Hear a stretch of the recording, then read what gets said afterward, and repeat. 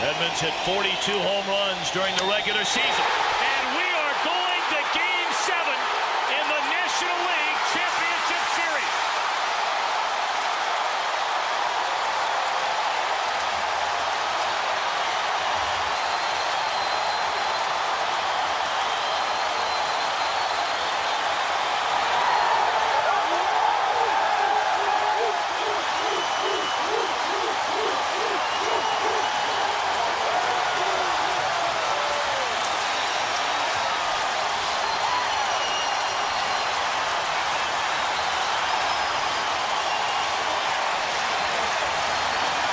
We had not had a walk-off home run in NLCS play since 1986.